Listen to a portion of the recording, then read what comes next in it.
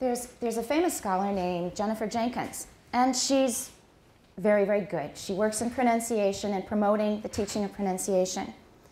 And the things that she talks about, I find myself in great agreement with, but there's a problem where we really split, a place where we really split. Right now, there's a tendency towards English as a lingua franca. Everybody know what a lingua franca is? Lingua franca. Some of you know. Ling What's a lingua franca?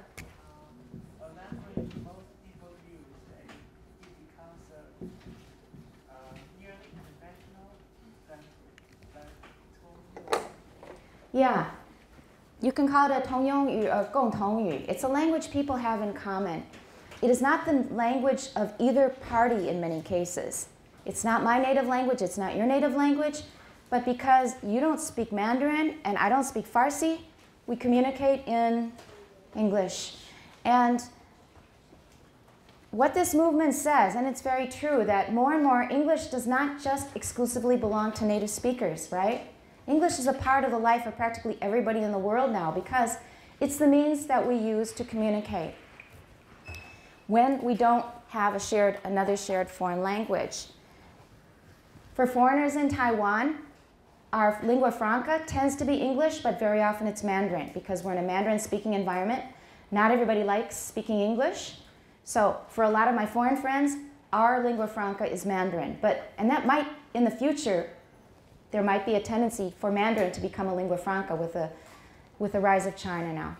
But for now, English is definitely the world lingua franca. And their idea is that we do not need to be so picky about training in any one particular English accent. And also, you can't learn everything well, so you just should learn some main points well. We need to prioritize. That means you spend more time, for example, on distinguishing vowels clearly, but we don't have to be picky about the if you say if you want if you say one two three, that's okay. 我们还听得懂，不是那么的严重. We won't we won't push you on that. We'll just concentrate on a few things that really interfere with intelligibility. Um, this is also called English for International Communication. And I can't disagree with those parts. We should prioritize. Some things are more important to intelligibility than others. That's true. Another point that Professor Jenkins said at the end of a talk on YouTube, and I'll put the link up for you. She said, we shouldn't put all the responsibility on the speaker. We should train our listeners to be more aware of and sensitive to the many different accents of English there are in the world. And I totally agree with that. We should also train our listeners. But the place where we split is are we able to train all the listeners that you are going to ent- interact with in the future? Are we able to? No. What happened? What's this? There's too many.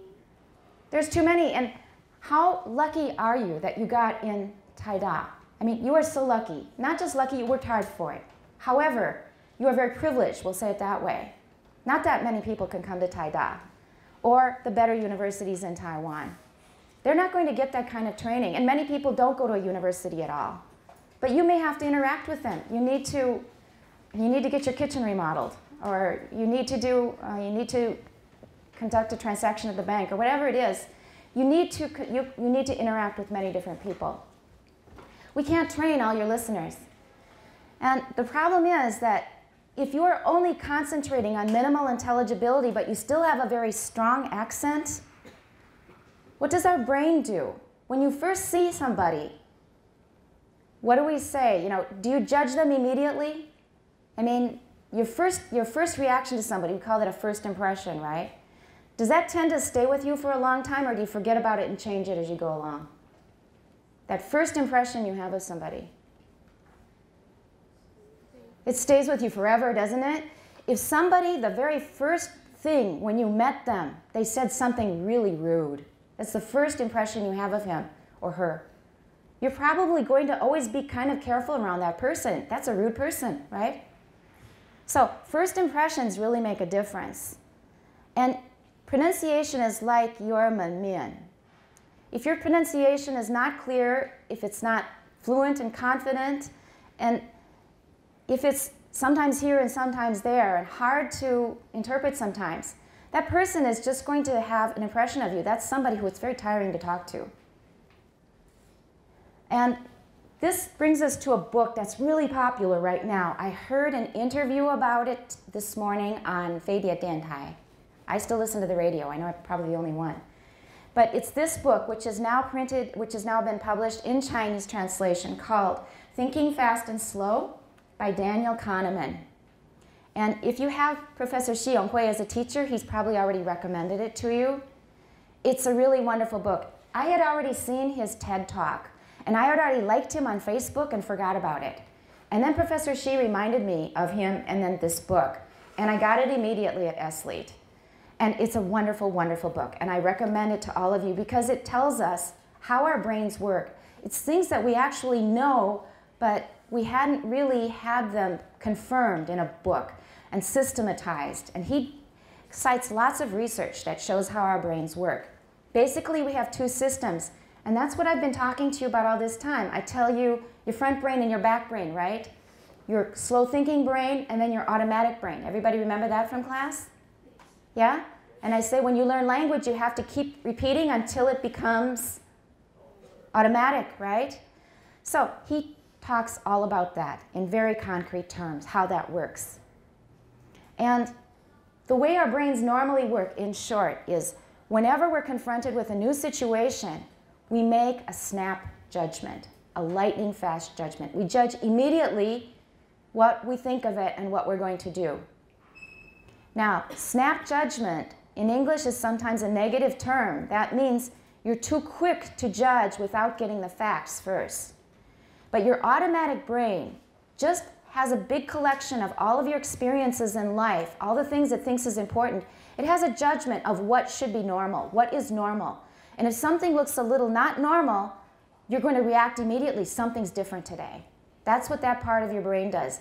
It's very good at pattern recognition. Something doesn't fit the pattern. It reacts. It says, watch out. Something's different. It might be dangerous. So that part of your brain is giving you snap judgments immediately. It will hand over its judgment to the slow thinking brain. And it will ask the slow thinking brain. It doesn't really ask because it's unconscious. We can't really sense that part of our brain. That part of our brain is working very hard and we don't feel it. It's unconscious. It takes up a lot of energy and we don't realize it because it happens without our consciousness. So it makes a very quick decision, hands it over to the slower part of the brain. And the slower part of the brain, if it thinks there's danger, it will think carefully, step by step. Is this dangerous? No, I guess it's different, but it's okay. It will think. But the slow part of the brain really hates to work. It's lazy. It's very, very lazy. You know that when you have a difficult problem in front of you, what do you often do? You close the book, right? Go do something else. Or your brain will answer an easier question. The question that you asked me was too difficult. So I'll think of a related question that's easier and I'll answer that instead. He cites that in the book. Okay, this is just background. The point is that this part of your brain is making judgments immediately. As soon as you hear somebody with an accent that's difficult to understand, this part of your brain is going to say, This person is hard to listen to. I don't want to talk to him next time. It's too tiring. Or it may hand the work over to the conscious brain, which has to now work at deciphering everything they're saying. 它的一就等于 i. Okay, please sit down. This part of the brain says, oh, 应该是 sit. 所以它需要到那个想得很慢的那个部分，然后呢转换得很慢，很辛苦。That's what's missing from this whole school of thought regarding English as a lingua franca. If you learn English 马马虎虎过得去, you may be understood, but the other person may not want to talk to you after a while. And that hurts you, makes you less competitive. You're not going to get anywhere if nobody will talk to you. So I just want to point that out that if you want to get good, you have to get really good. In music, is it okay if you get most of the notes right and some of them wrong? No. Sherry? No. It's not, because what? Is it worth listening to? Are you going to listen to it at all?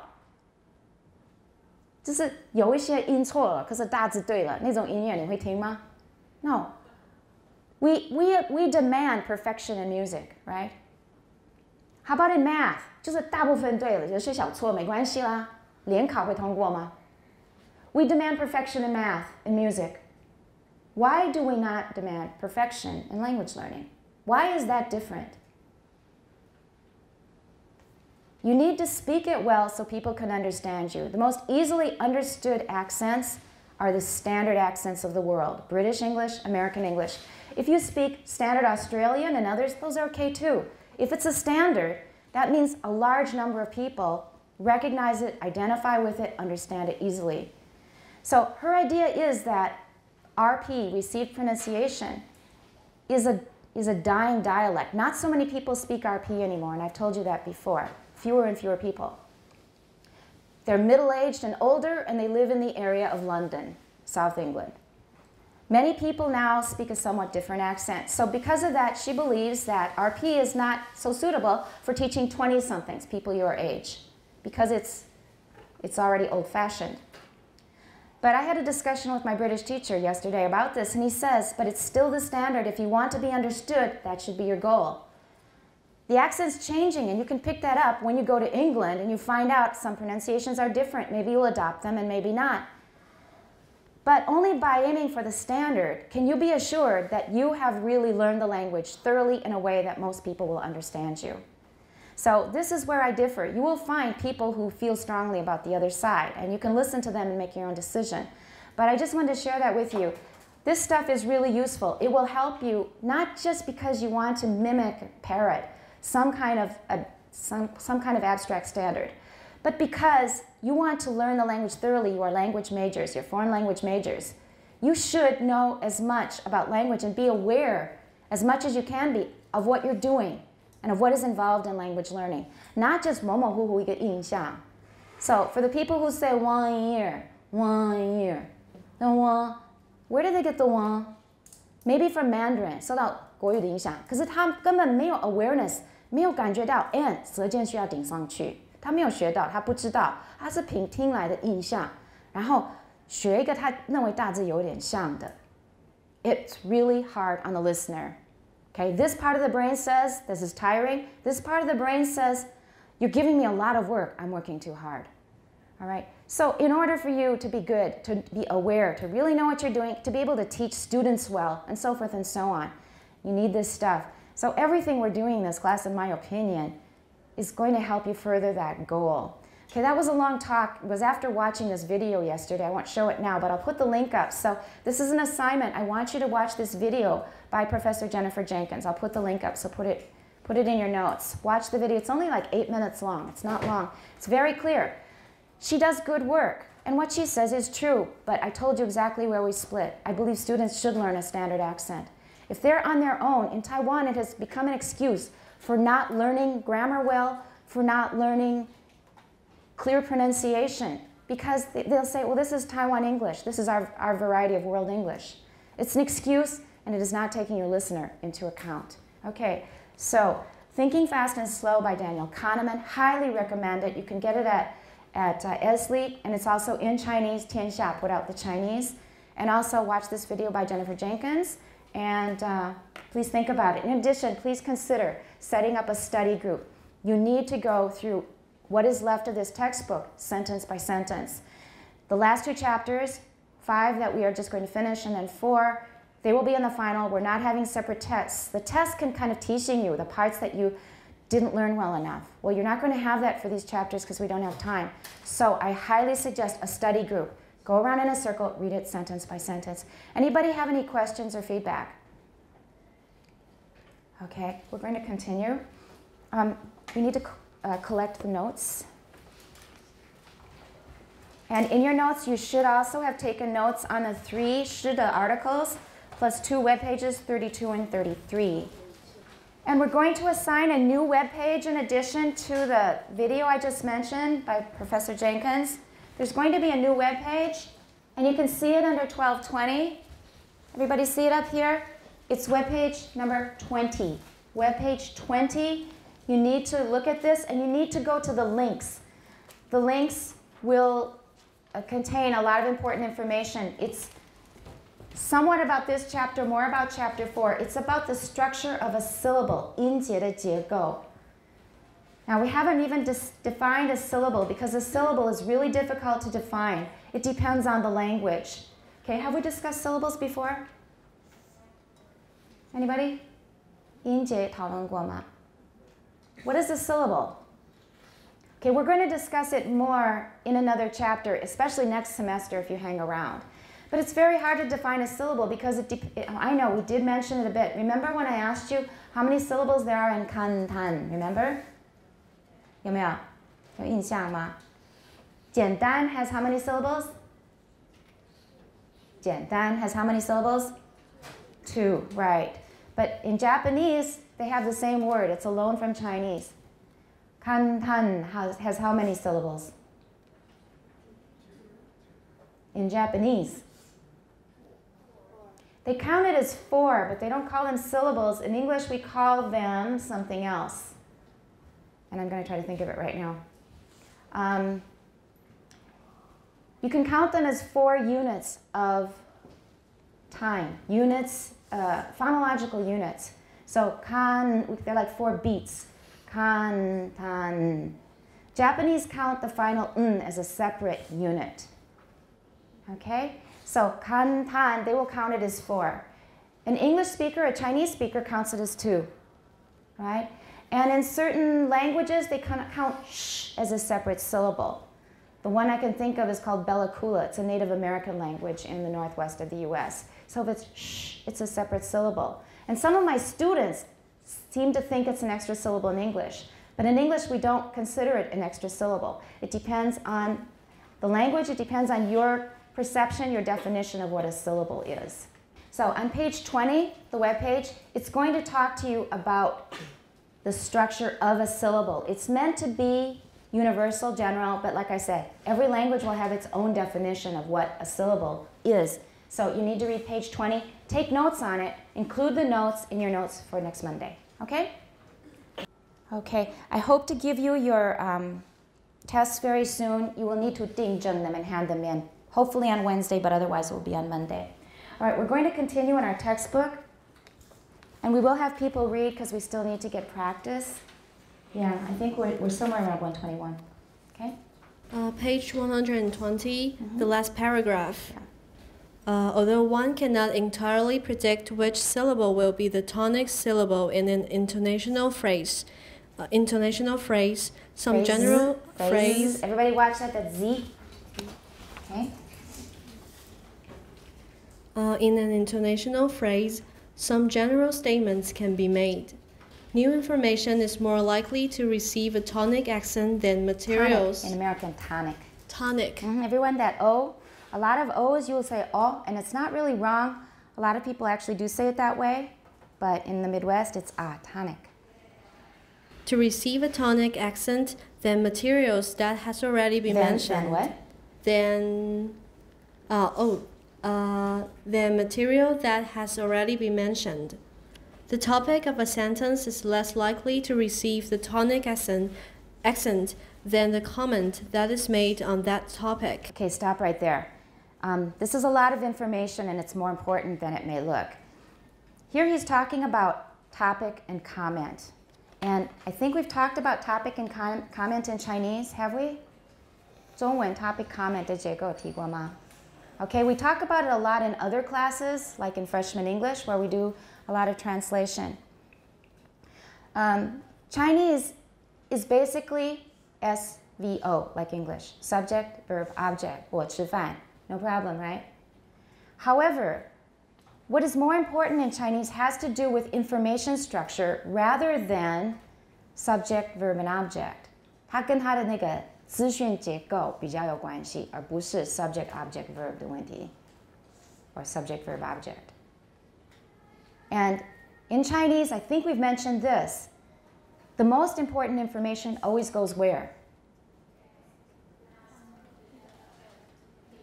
Always at the end. In Chinese, the important information always goes at the end. Always. 没有例外. Always. And the head of a phrase that has a modification That also comes at the end. So 被修饰的部分也一直都在后面。Like the guy who I saw yesterday in Chinese becomes 再讲一次。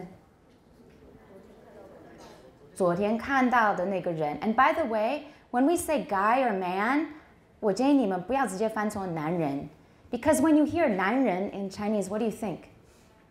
那个男人。What do you think? 这个人跟这个男人这两句有差别吗？What, Sherry? What's the difference? One is male. We know that, but is there any other difference? 那个女人，哇，那个 reaction 就比较强了。When we say 那个女人 ，What's your reaction? I could see it immediately. What is it? It sounds negative, doesn't it? 那个男人好好像没有那么 negative. Okay, for me, it can. 男人 right? we can do it with either sex. 那个男人 in Chinese we normally don't have to say 男 we don't 那个人就好了 note that in your translation 这是翻译课该教的 because I notice that in most of my students whenever they see man in English it becomes 男人 but you don't usually say that in Chinese you just say 那个人就好了 because you're not really big on noting what their sex is 你根本连 he 跟 she 都没有对不对你男人、女人这两个，它的用法跟一般的、跟那个那个人是不一样的。All right, so I just want to mention that. Um, the point originally was the important information goes at the end, and the head of a phrase goes at the end. That means the part which is modified, 被修饰的那个部分. So the guy I saw yesterday. 英文是变成一个关系代名词子句，对不对？The guy who I saw yesterday. We can't really do it any other way. The yesterday by me seen guy, 可以吗? The yesterday by me seen guy, 英文可以吗? No, we don't do it that way, but that's what you do in Chinese. In other words, all of the modification goes before the verb or for the noun. Also before the verb if you're modifying a verb. 不管你修饰的是什么，被修饰的东西永远在后面，重要的资讯也永远在后面。The reason we got into this in the first place is the idea of topic and comment. So in English, we can say, I've already washed the clothes. I've already washed the clothes. How would you say that in Chinese?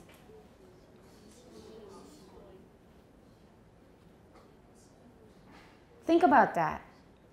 A good translation that has the same focus as the English sentence. I've already washed the clothes. How would you say it? Right, some of you have it right. How about 我已经洗过衣服了 or 衣服已经洗好了 which one do you like better? 第一个,第二个. All right. Now, we say that Chinese is subject, verb, object, right? 我已经洗好衣服了. But you like it better when I say 衣服已经洗好了.洗好了.那英文变成什么？呃，不对，中文变成什么？是 object, subject, verb，对不对？被洗的东西在前面。So object, subject, verb，中文是那么严格的 S the oma? No. But it has nothing to do with subject, object, verb. It has to do with focus. And focus has to do with what is most important and the most, most important information. So, in Chinese, rather than saying it's strictly SVO, we usually say that Chinese is a topic comment language. This is very important for your translation class, for your general linguistic knowledge. Chinese is generally a topic comment language. Topic, is that stuff we already know or is that new information? It's old information. It's stuff we already know. Iful, that means we all know there's a, there's a stack of dirty clothes that need washing. We already know that. And who's gonna, who's gonna wash them? Is it me or is it you or is it somebody else? 啊，衣服这件事情，我们之前谈过这个衣服的问题，我已经洗好了。重点是到底洗了没有？重点永远是在后面。and that is called the 前面衣服 is the topic and 洗好了 is the comment. So this is the way we generally try to analyze Chinese. And this is not about subject, verb, object. It is about what? Information structure. Information structure. putting what's important at the end in the case of Chinese. Topic at the beginning, 已知的部分, stuff that's already shared knowledge, 新的东西,新鲜的资讯放后面. So that's what he's talking about here. We have it in English too, but because we don't have a strict topic comment rule in English like you do in Chinese, we will do things differently. And I will give you an example. This is basically about translation, but it has a lot to do also with intonation, which we're talking about in this class.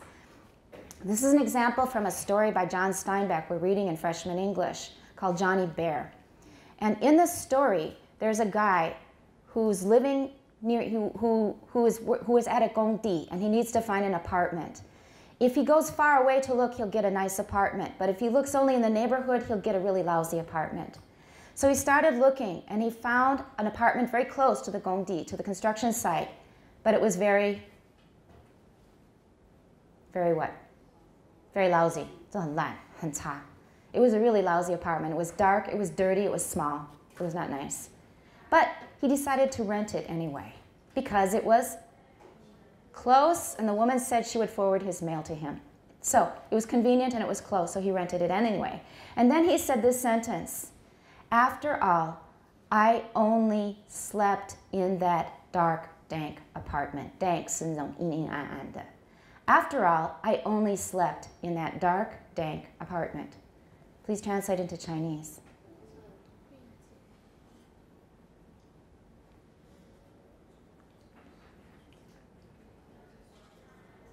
After all, I only slept in that dark, dank apartment.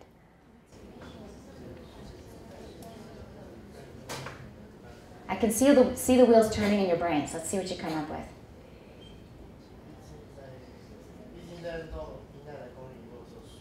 There we go. Okay, Jerome's got it. Some of you came up with something else. What else did some of you come up with?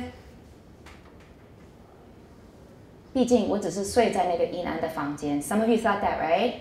Is that right? Why is that not a good translation?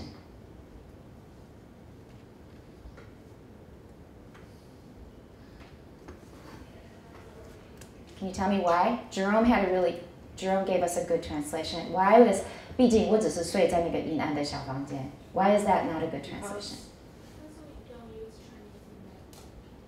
That's a very general answer. Can you be specific?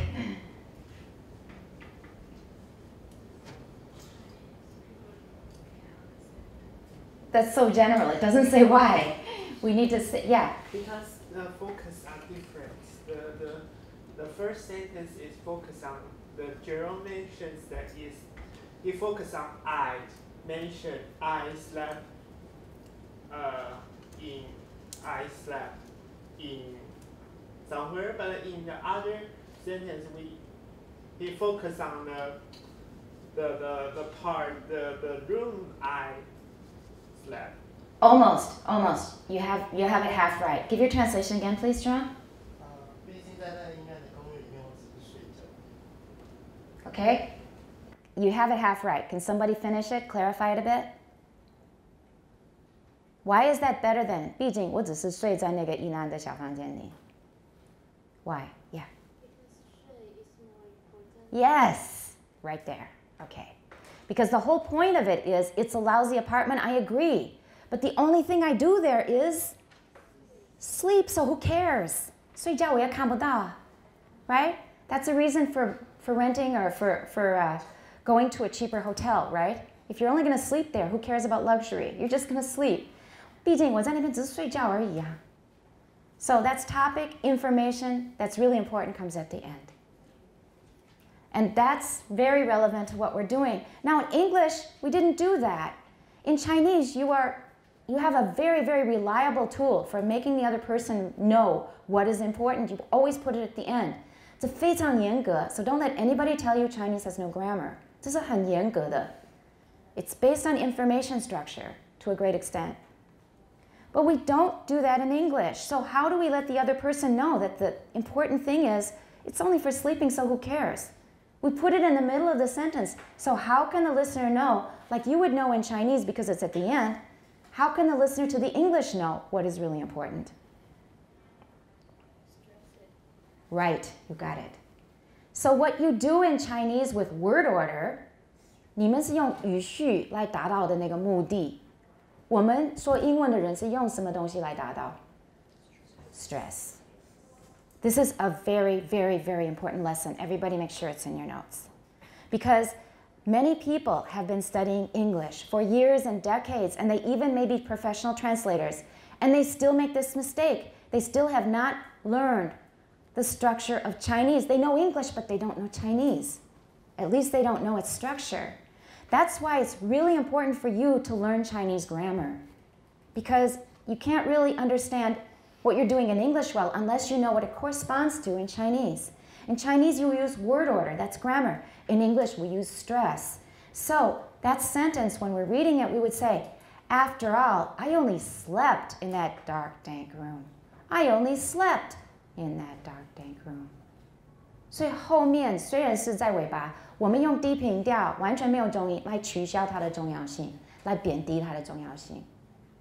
Okay? This is really, really important. And you're going to see things like this in these sentences. And I want you to think of Chinese equivalents. 你每次看到中间鼓起来的地方，you think, well, what would we do in Chinese? And that will often explain in Chinese 鼓起来的地方可能要放后面呢。Okay? Mm, so it says you can't entirely predict which syllable will be the tonic syllable. We can make some general statements. New information will get the tonic accent. We use tonic accent to mark new important information. And then if we still put stuff after it, 后面还摆一些东西的话，可能就是用低频调把它敷衍过去了。Okay. Um, so it says, thus, if you're telling someone a number of facts about lions, you might say the sentence shown in 4, which says, a lion is a mammal. A lion is a mammal. 就是我们已经知道在谈狮子的事情，然后我要提供一个额外的资讯，就是是哺乳动物。A lion is a mammal. Did you know that? The topic of the discussion is lions, and the comment on that topic is that a lion is a mammal. The two speakers in four differ slightly in that the American English speaker puts accents on both lion and mammal. So when Bruce said it, he said the lion is a mammal. You know, lion, what kind of a word is lion? It's a content word. So of course we are going to stress it. You can also make it flat. If we've been talking about lions a long time, the lion is a mammal. It's not a fish, okay? But if it's just a general statement, we will certainly stress it because it's a content word. So it depends on how old it is. 那个就会决定那个 lion 的重音有多大。 Um, nevertheless, even for this speaker, the tonic accent is the last accent of the intonational phrase. For both speakers, this is on the last word mammal, making it clear that this is the comment, the new information that is being given about an already known topic. The tonic accent goes on the new information.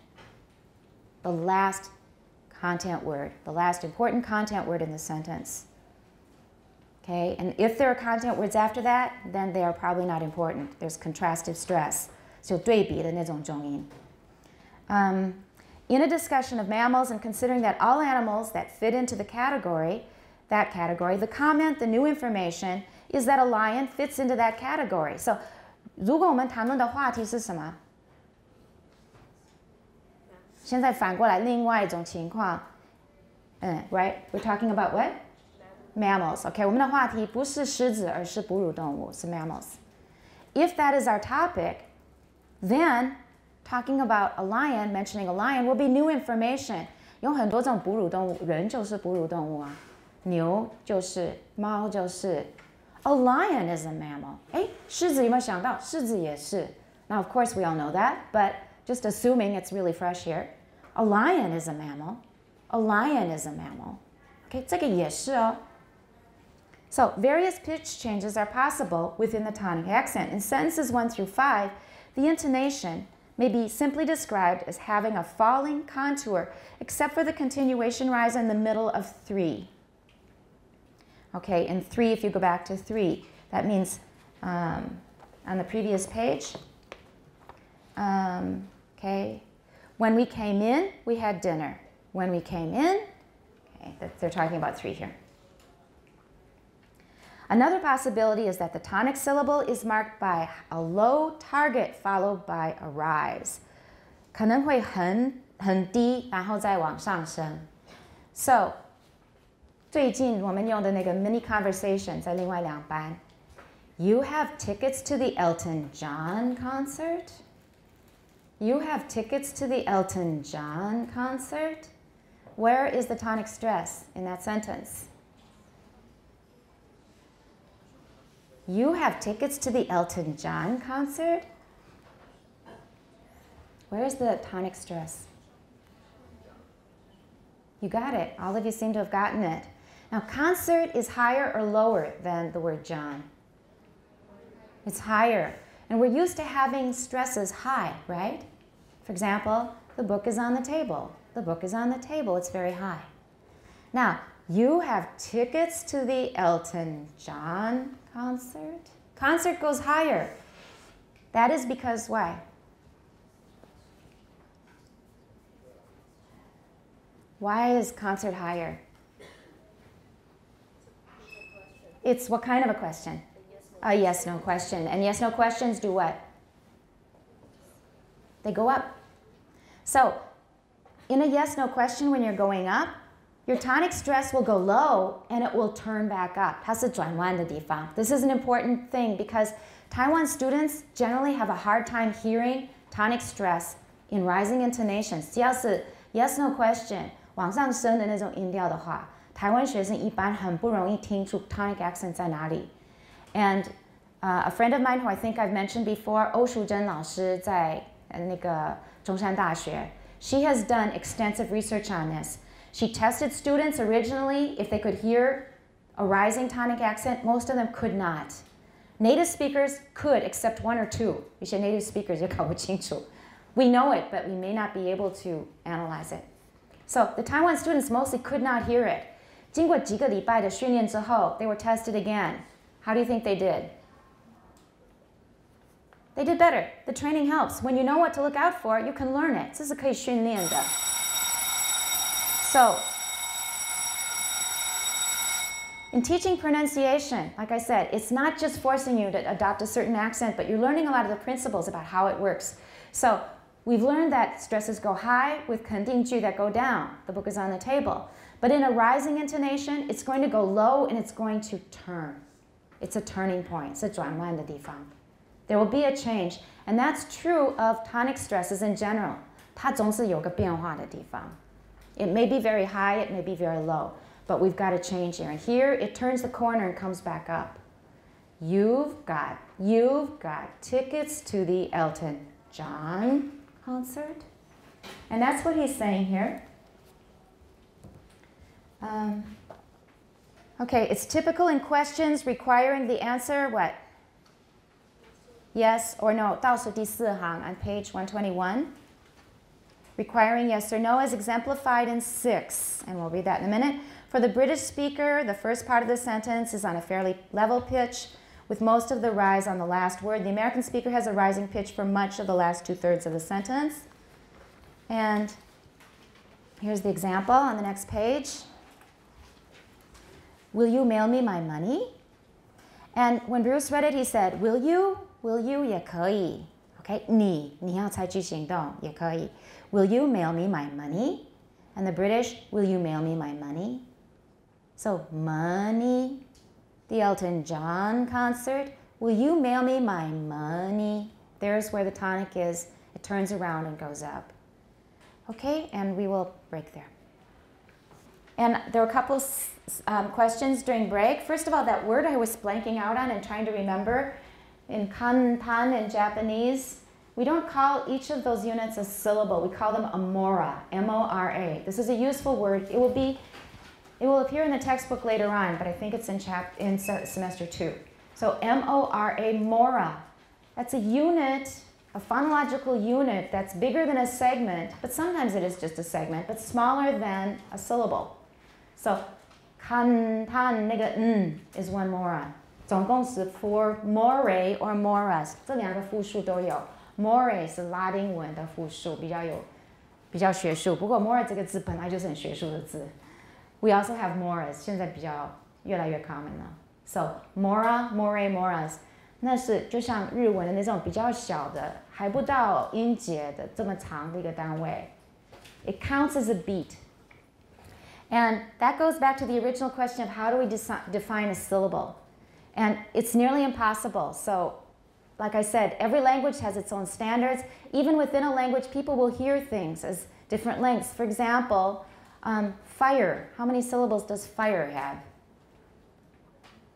The dictionary tells you one, but how many do you hear? I hear two. Fire. Fire. 有个连音, yeah, 连音. That's two syllables. Or spoil. How many does that have? The dictionary tells you one, but I hear spoil. 那个也有个 y 的连音. So this, the, the idea of syllable is very, very fuzzy and it's really hard to define rigorously. Nobody so far has really succeeded and they can't because it keeps moving around. The definition keeps moving around. We've always got exceptions. And then in British English, secretary, secretary. How many syllables? Secretary. But secretary, there's kind of a half of the syllable there. And we have a lot of that in, English, in American English as well. So family. Is there, is there a half syllable? Is there a real syllable? Is there no syllable? Family, family, family. There may be something in between. So anyway, for this unit smaller than a syllable, at least for Japanese and similar situations, we use the word mora. This is a um, Alice asked, what's the difference between a segment and a syllable? That's easy. Remember that a segment in Chinese is yin duan. It only means either a vowel or a consonant. For example, t, that's a segment. E is a segment. E is also a syllable, as in yifu. E, it's one segment which happens to also be a syllable. But 音节的观念, how are we going to define syllable? I have my definition, and this might be useful to you. It is the subjective sensation of a beat. 一拍，主观感到是一拍的那个单位就叫 syllable. That's the best definition I can give you. It's a unit of speech that gives you the subjective sensation of one beat. So, impossible, impossible. Four beats, four syllables. Now, how do you define beat? Like I said, it's subjective. It's a feeling that it counts as a separate unit in a line. But that's the best definition I can give you. We don't have a really good definition for syllable. So, syllable, 音节, mora. I don't have a good Chinese translation for this. Does anybody know? Didn't occur to me. 它是小于 syllable 的一个单位. Sometimes it's a bit shorter, a bit faster. And we use it for languages like Japanese where they count things differently. And segment is in duan. So those are the questions that came up on syllable and segment. Also accent. This is from a question that Stanley asked during the break. He said, is it good to learn just one accent or more accents? This, I started talking about it when I was talking about Professor Jenkins' video. And this is something I feel strongly. I, be, I believe for speaking, when you're first learning, learn one accent consistently. You can be aware of variations, but for your speech, choose one accent because that will confuse your listener the least. 对听的人，他比较感到 consistent，他会觉得可以预测你这个音应该是什么音。So for speaking, I really recommend stick to one accent. If you happen to move, like you started out living in New York and then you moved to London, if you move to London, learn a British accent, learn a new one. It doesn't mean you get rid of your old one, you keep that for when you need it when you go back to America. You speak with people who speak American English. Learn a new one, add new accents. You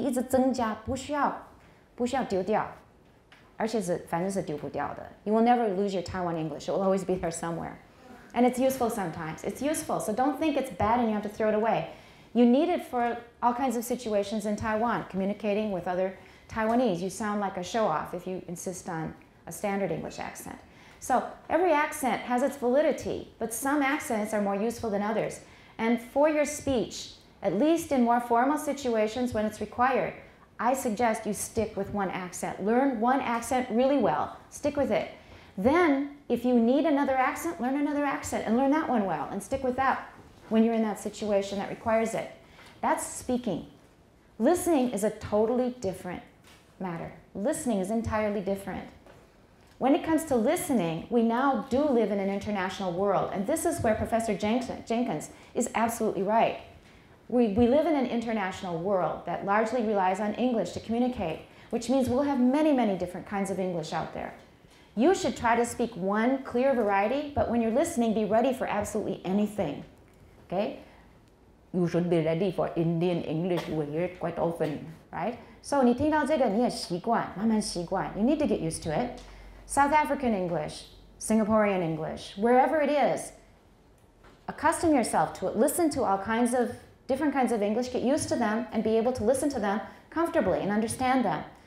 As language majors, you should be doing that. For listening, you should be you, you should be om- omnivorous. Omnivorous means 杂食动物. Everything is okay. I mean, for listening. Speaking and listening is two different matters. And um, Stanley gave the example. He said that someone he said was fired for having a British accent in, in, in American media. I find that hard to believe. Maybe there was another reason they fired her. I don't know what the story was. But in fact, in America, we do listen to lots of accents in the media. They have a lot of British accents, for example, on CNN and the other TV stations. So for listening, absolutely, you need to be able to um, understand any kind of an accent. You need to train yourself and don't just complain. Ah, Get used to it. Just learn it. Okay? Adjust. Let's go back to the textbook and let's just try to finish up chapter five. um, I'm going to go over a couple things because I don't think they have I mean, the content is not that dense. So I'm going to go over a couple and then I'll call on you when we get to a chapter I want you to, I'm sorry, a paragraph I want you to read. So on page 122, we just talked about will you mail me my money? And we are talking about the tonic accent or tonic stress in what kind of a sentence? Yes, no questions when we have what kind of intonation? Rising or falling? That's right. When we have a rising intonation, remember the tonic accent will go lower and it will turn a corner. It's a pivotal point. Wait, John, why? Um, and it says, now consider what you do in questions that cannot be answered by yes or no, such as that in eight. Well, no, here we have seven. We didn't cover that. Will you mail me my money? It's okay. Let's go over that first. Um, as with falling contours, the syllable that has prominent rising contour is not necessarily the last stressed syllable in an intonational phrase.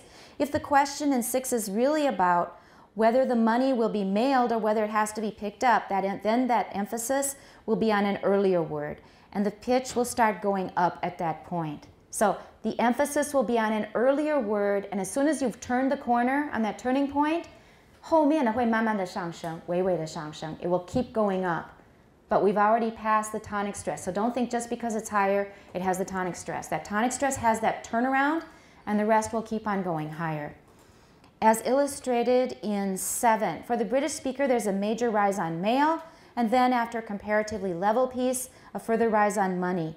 So in this sentence in 7, will you mail me my money? Where is the tonic accent?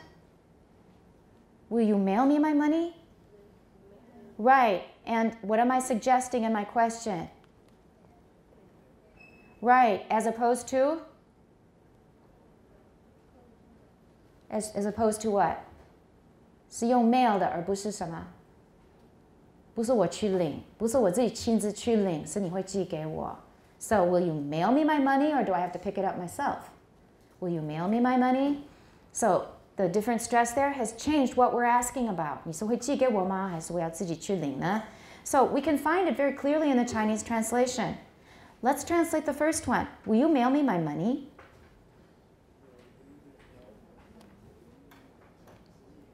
Will you mail me my money? How are you going to translate that? 你会把钱寄给我吗？把钱寄给我把钱，钱 is a way of focusing, putting the focus on what is important. And what is something important that happens after a 这是所谓的把字句 in Chinese. 把钱后面必须要怎么样？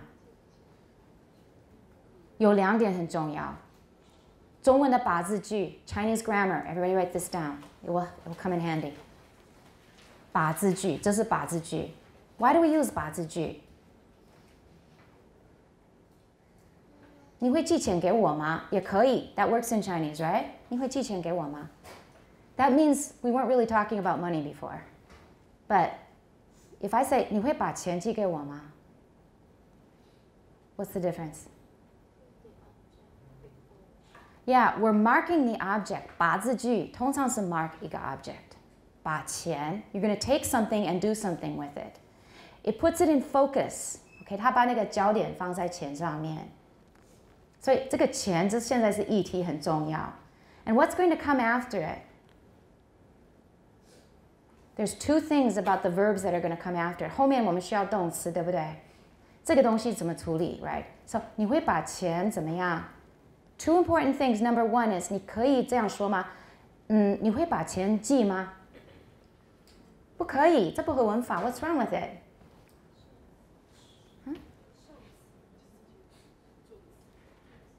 把钱，钱是是受词，问题不在受词。你会把钱寄吗？Yeah, you're trying to fi fix this bad sentence, but you have to analyze what you're doing and what the problem is. You just say no, no, no, it's not right, but why? 你会把钱寄吗？及物动词怎么样？There we go. Continue. Okay, first of all, in Chinese, I recommend you don't worry so much about VSO stuff. Don't think so much about that. We're, we're talking, first of all, about information structure, right? And the second thing we're going to talk about in Chinese is syllabicity, just a syllable count. 音节的数量，音节数是有关的，这是很重要的。In Chinese, syllable count contributes to rhythm. In Chinese, there are syllable count constraints. 会要求某一个音节数，so 一个音节是不准的。把信寄可以吗？把信寄可以吗？No， 把信寄掉可以吗？可以吗？把信寄掉可以吗？What's the difference？反正都是寄。谁？you had the right idea. You have to put something after it. But when you got to 及物动词, forget that. Worry about it. Don't forget it. Don't, don't think of the 及物动词 part. But you have to put something after it. That part was right. Anybody else? 把信寄是不行的，but 把信寄掉是可以。Why?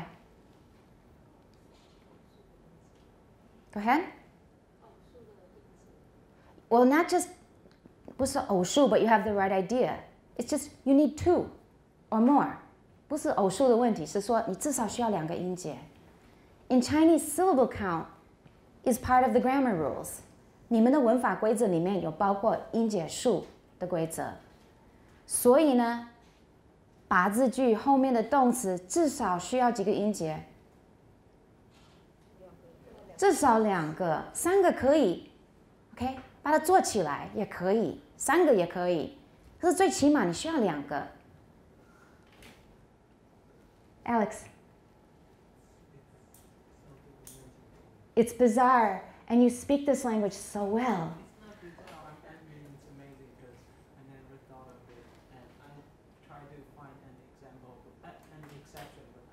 You can't.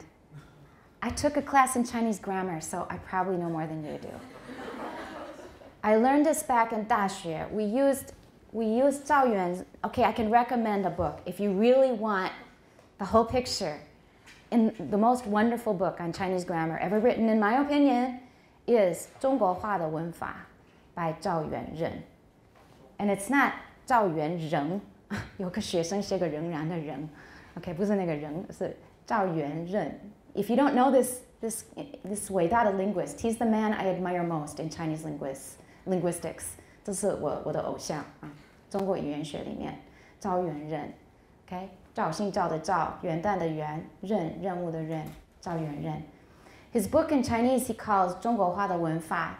He wrote it in English. It's called A Grammar of Spoken Chinese. 已经绝版了。It is 绝版很多年了。 And I don't know why, because it's simply the greatest book on Chinese grammar ever written, in my opinion. And isn't that funny? We need two syllables or more. 需要两个音节以上. And that's not the only situation when it happens, but that's the only one I'll talk about now. 你需要两个音节以上. Oh, there you, okay, so you learned something about Chinese. Nobody ever told you that in school, right? And they probably won't. That's why I think they should teach a class on Chinese grammar here in our department. Everybody needs it. There's a second thing with that particular 把字句. There's another thing you should know. And this is going to be something about verbs, but it all comes back to phonetics in some ways, so it's worth mentioning.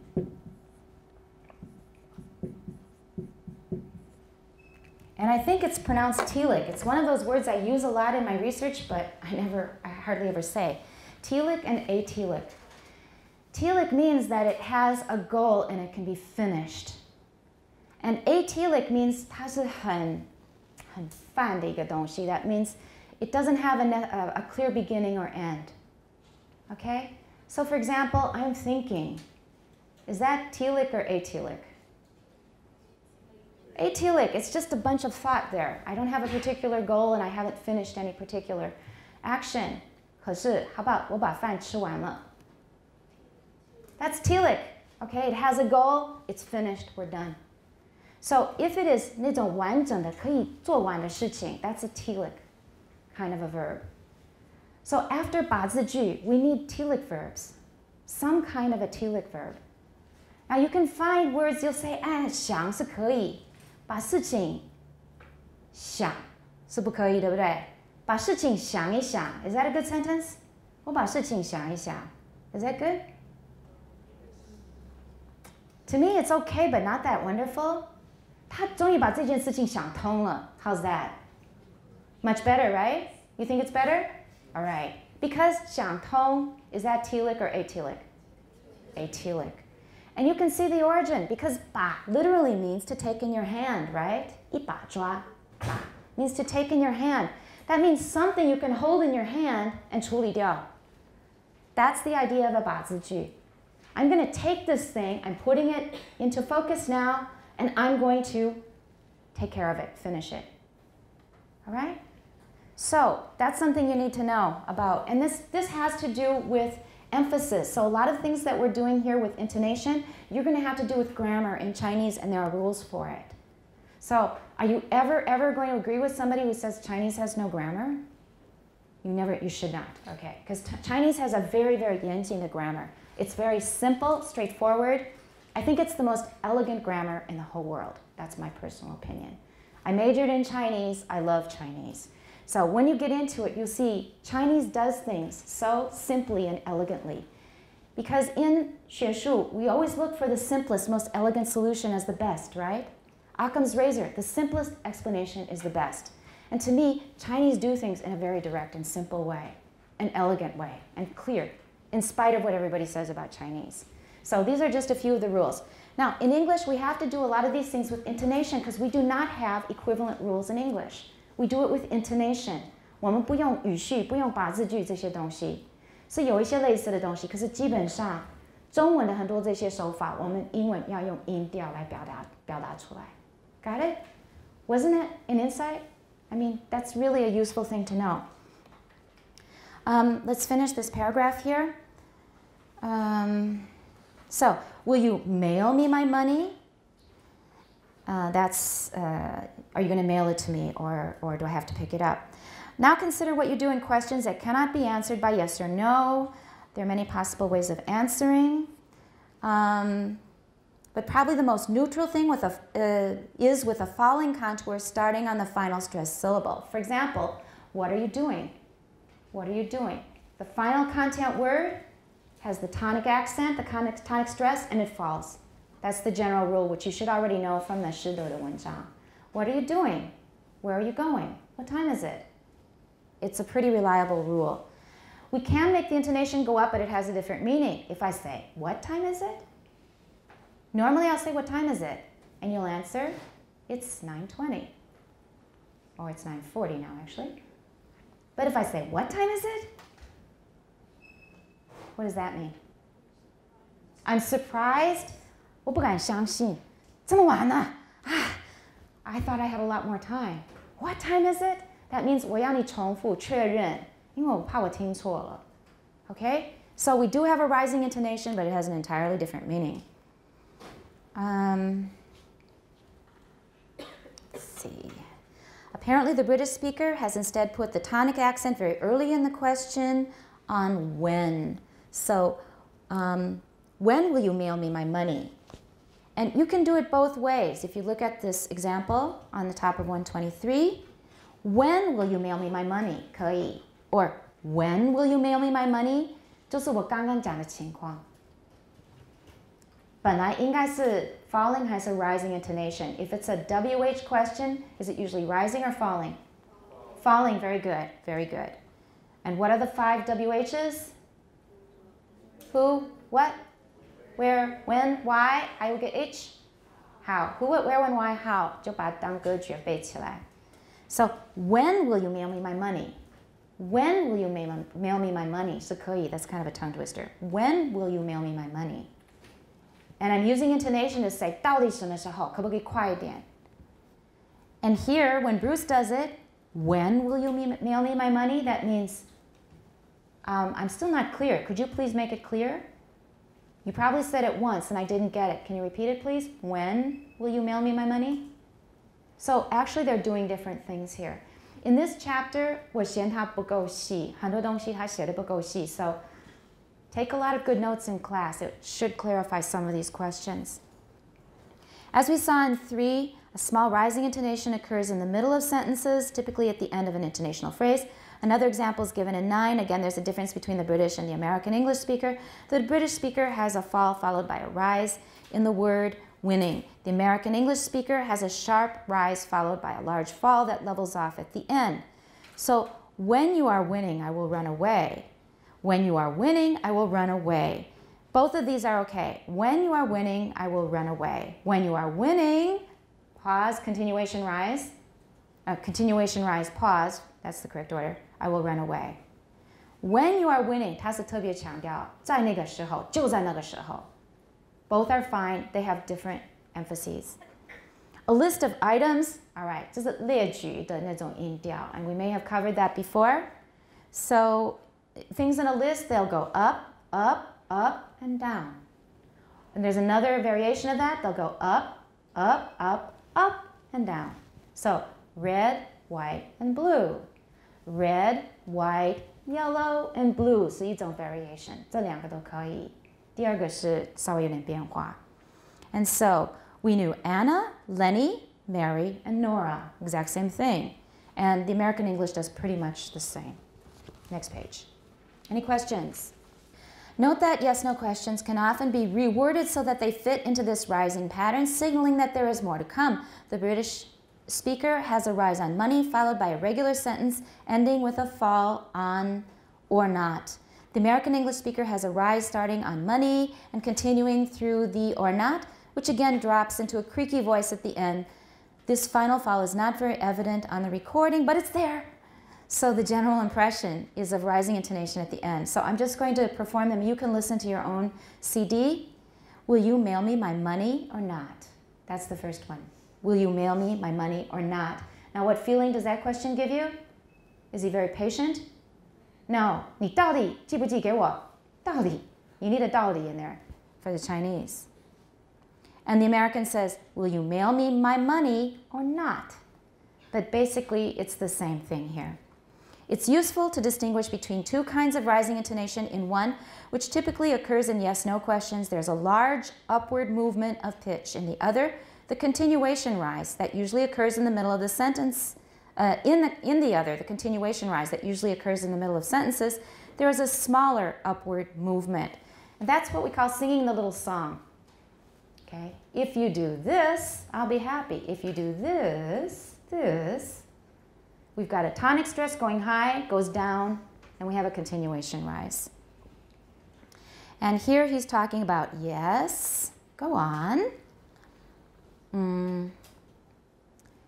Let's see. In the other, these two intonations often are often used contrastively. Thus, a low rising intonation on an utterance means that there is something more to come. That's the continuation rise we are just talking about. There's a slightly rising intonation in the utterances 12 and 13. And that's, we're asking a question. These are the kinds of utterances one makes when listening to someone telling a story. He says they're different, but actually they're the same principle.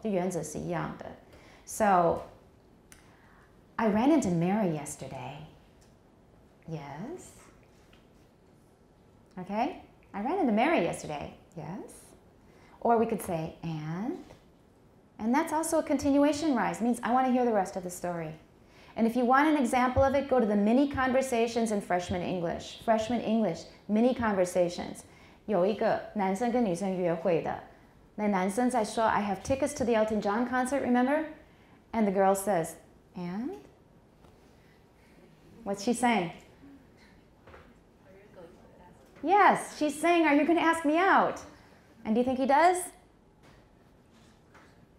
Well, Go to the conversation. Actually, he does. So you can hear a pretty good example of that. I'd like to hear the rest of the story intonation. It's basically the same thing, but we don't have a tonic stress there. 就是因为没有 tonic stress 才不一样. So I like this, but not that. The tonic is, that's the continuation rise. And then when we say and, there's no tonic there, right? 没有实词,没有 tonic.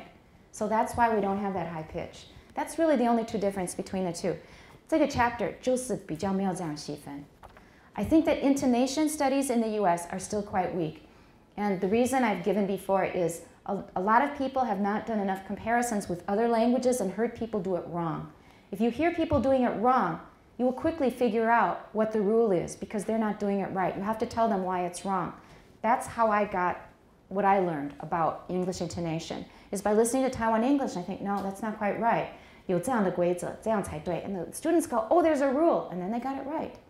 Okay? So hearing mistakes is a blessing. It's a gift. Remember that. Mistakes are always a gift. There are many things you will never ever learn unless you hear a mistake. Mistakes are often the only insight you will get into something. So appreciate every mistake that comes by, but learn from your mistakes. If there is a larger rise in pitch, as in 14 and 15, there is a change in meaning to something more like, Did you say yes? Did you say go on? The British speaker uses more than 75% of his, of his full range, and the American speaker uses an even greater range. It should be noted, however, that people are not entirely consistent in the way they use this difference in intonation. It depends on how excitable and how excited they are, right? So, yes, I'm trying to be calm. And then here, yes. And if I'm getting impatient, it'll get more and more exaggerated. So often it has to do with your emotional state. Both rising and falling intonations can occur within the same tonic accent. If someone tells you something that surprises you, you might have a distinct fall rise on the tonic syllable, followed by a further rise on the remainder of the intonational phrase. Both speakers in 16 follow this pattern. So, um, your mom will marry a lawyer, and your mom will marry a lawyer. I thought that Mary was going to marry a lawyer because I realized, mama 要嫁给一个律师，那很奇怪。你妈妈她还要结婚呢、啊，她好老、哦。Okay, so your mom will marry a lawyer. Your mom, your mom will marry a lawyer. There's our tonic, a deep drop and then turning back up. 其实跟我们刚刚讲的一样，这没有什么例外。uh, the English and the, the British and the American are about the same. There are also distinct intonation patterns one can use when answering, addressing, or calling someone. the answer to a question such as, Who is that over there? is shown in 17. And then the British speaker, dot, dot, dot, we'll skip that. Look at 17.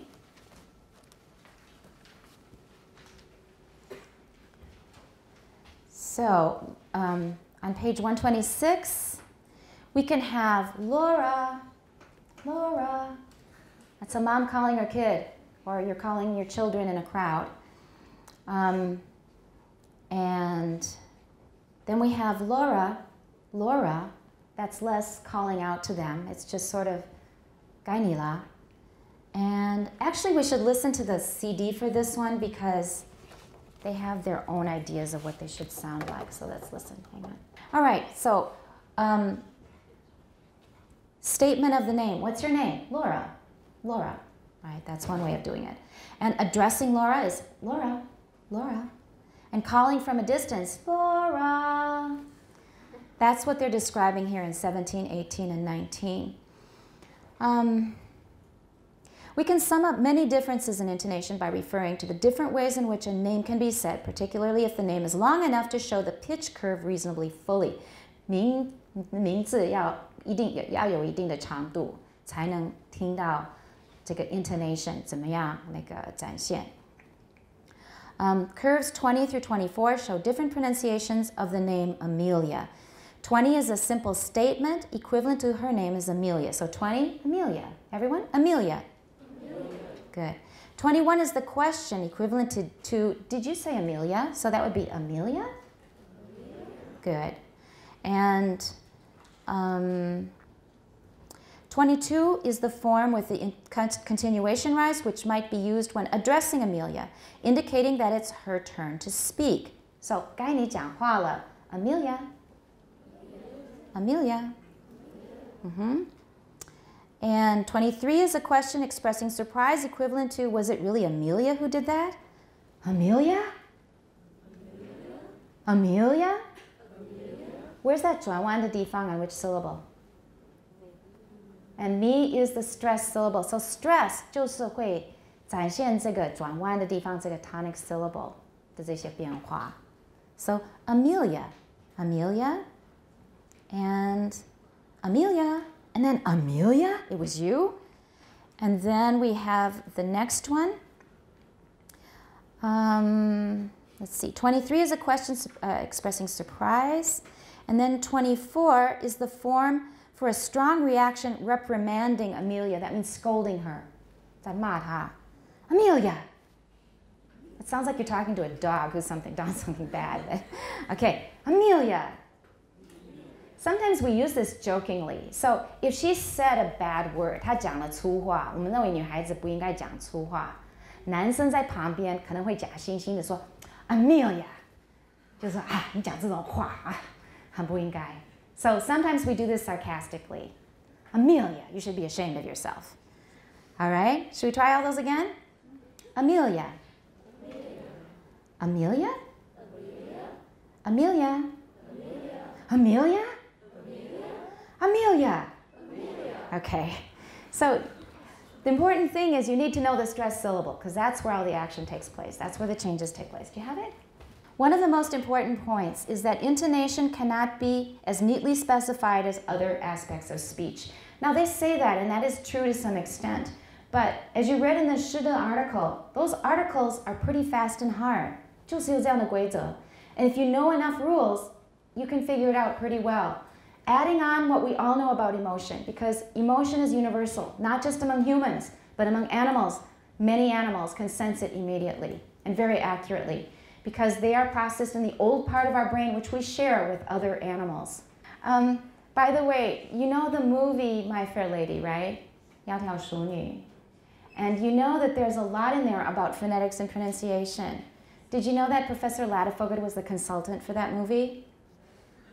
You knew that, okay. So that's an important thing to know. He's very, he was very proud of that, rightly so.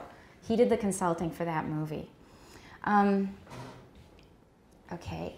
It says it can't be specified as neatly and tidily, but in fact there are rules. And if as students you learn those rules, you will know what's going on. You can do many variations on the rules from what we know as humans, that's universal. But once you, there are rules, and they definitely help.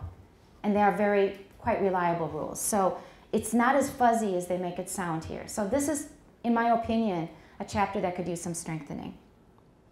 English has been described mainly by considering phonemic contrasts. We have noted that there are 22 consonants in most forms of English and a specific number of vowels in each accent.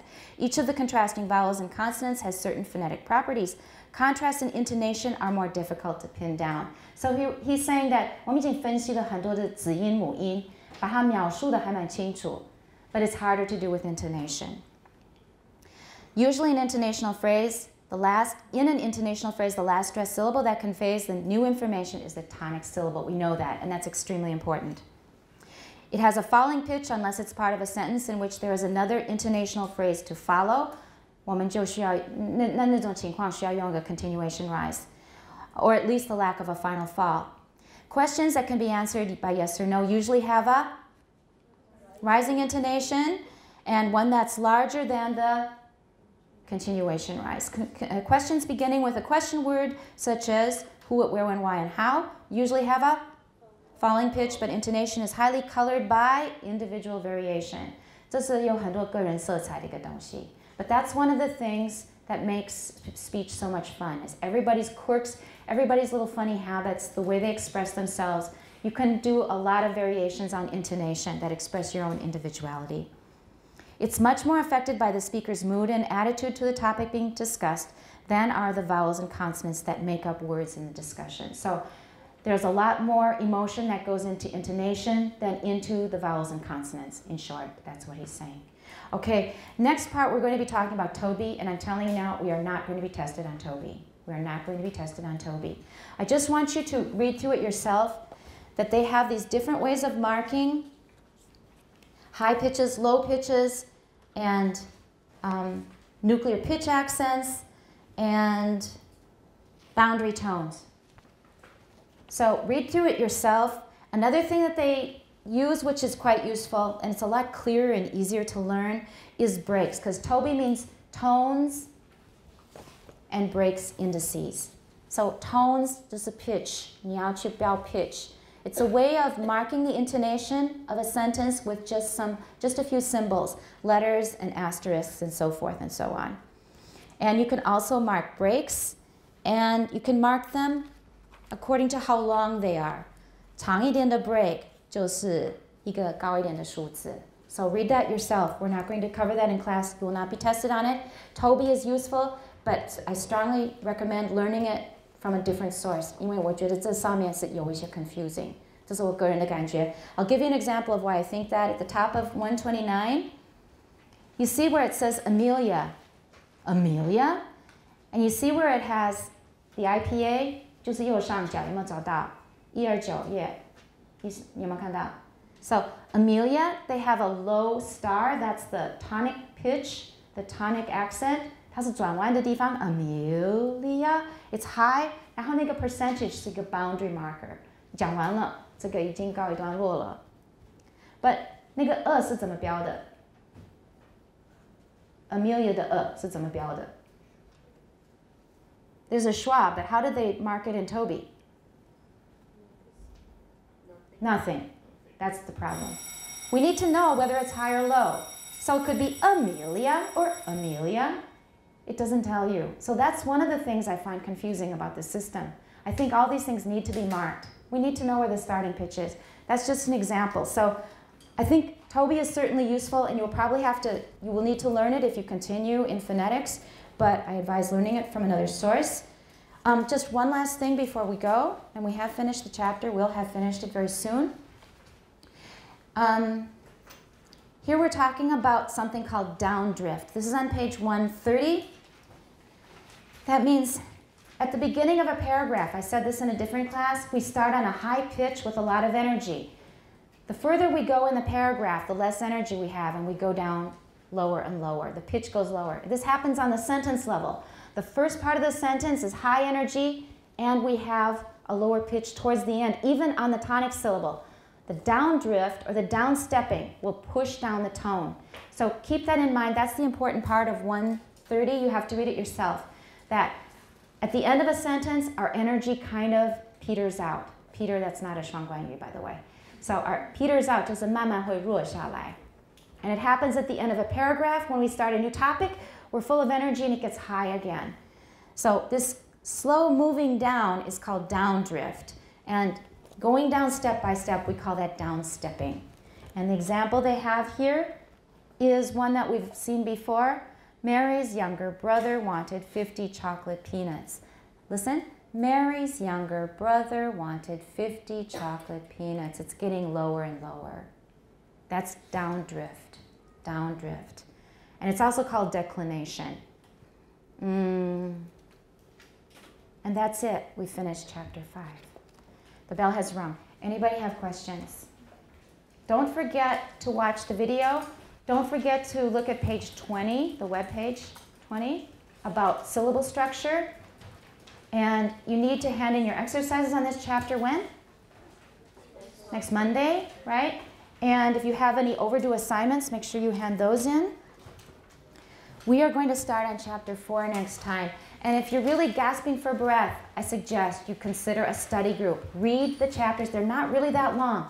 Read them in a circle, one by one. Make sure you understand everything. It will definitely help you in the final. Okay? Questions? We are done for today. We'll see you on Wednesday.